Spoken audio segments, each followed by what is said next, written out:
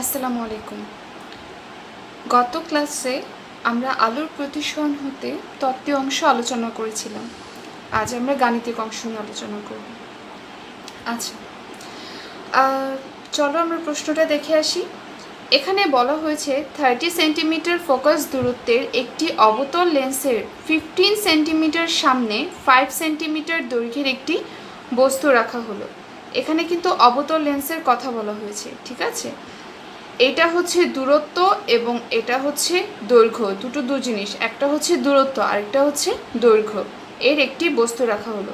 প্রশ্নে গতে বলা হয়েছে বিম্বের দৈর্ঘ্য কত? আর ঘতে বলা হয়েছে বস্তুর তিন গুণ দৈর্ঘ্যের বিম্ব গঠনের জন্য উত্তর লেন্সের ক্ষমতা plus eight point eight eight dioptre হতে হবে। গাণিতিকভাবে তা যাচাই করো। আচ্ছা। আমরা একটু চিত্রটা এঁকে ফেলি, তাহলে বোঝা যাবে অ্যাকচুয়ালি কী চেয়েছে। দেখো সো চিত্র হতে এটা যদি আমার অবতল লেন্স হয়, ঠিক আছে? সো এটা হচ্ছে একটা অবতল লেন্স সো এই অবতল লেন্সের ফিফটিন মিটার ফিফটিন সেন্টিমিটার দূরত্ব, অর্থাৎ এটা তো হচ্ছে আমার আলোক কেন্দ্র, তাই না?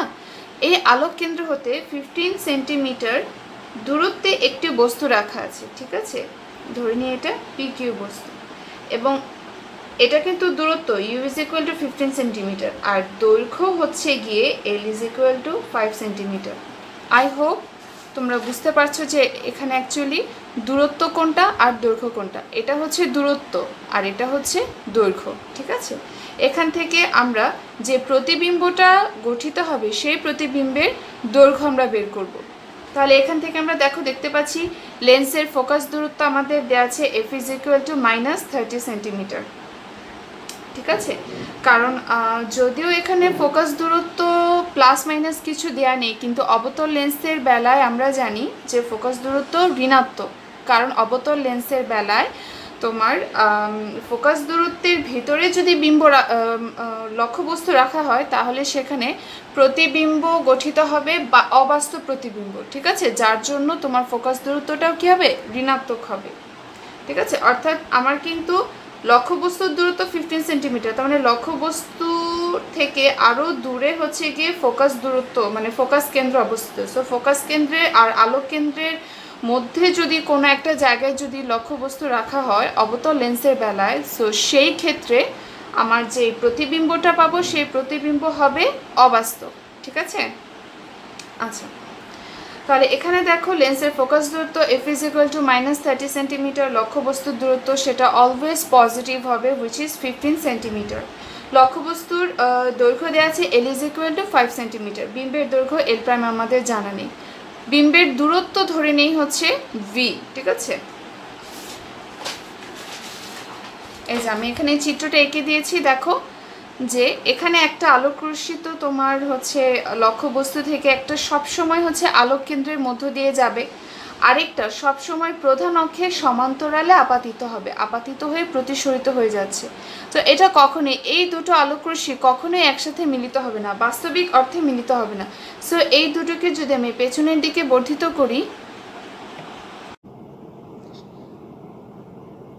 এই দুটো রশ্মিকে যদি আমি পেছনের দিকে বর্ধিত করি, তাহলে তারা পরস্পর পি প্রাইম বিন্দুতে ছেদ করছে। তার মানে পি কিউ লক্ষ্যবস্তুর একটি অবাস্তব প্রতিবিম্ব পি প্রাইম কিউ প্রাইম তৈরি হচ্ছে, ঠিক আছে?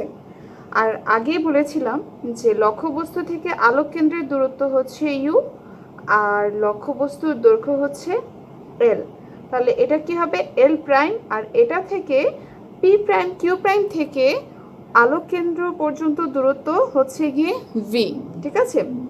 তাহলে আমরা কি জানি? One by f is equal to one by v plus one by u তাহলে কি হবে? এখান থেকে আমাদের হচ্ছে প্রতিবিম্বের দূরত্বটা লাগবে।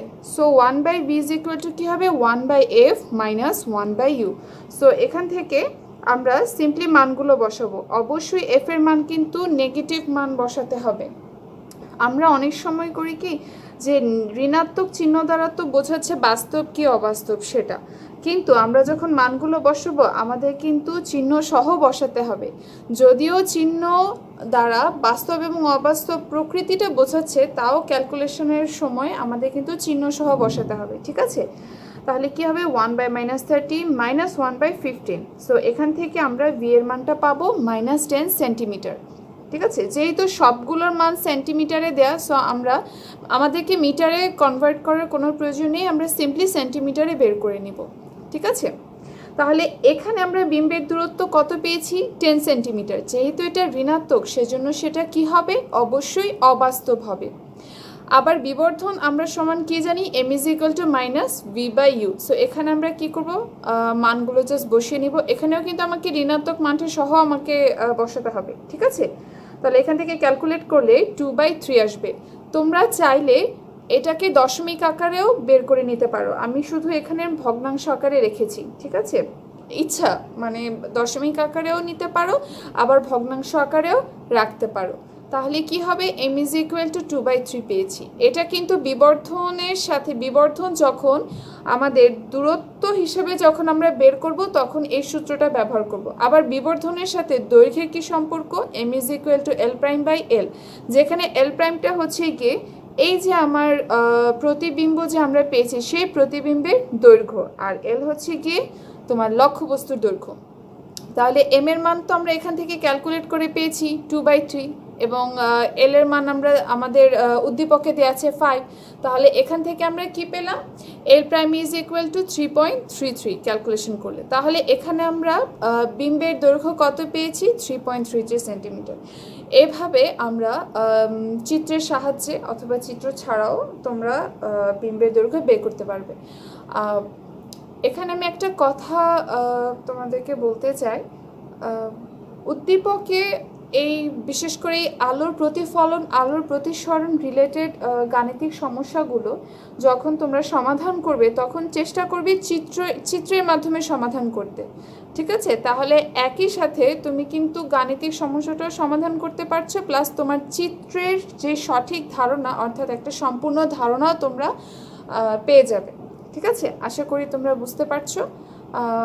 আগামী ক্লাসে অর্থাৎ পরবর্তী ক্লাসে আমি হচ্ছে ঘ নাম্বার তোমাদেরকে ব্যাখ্যা করব। ওকে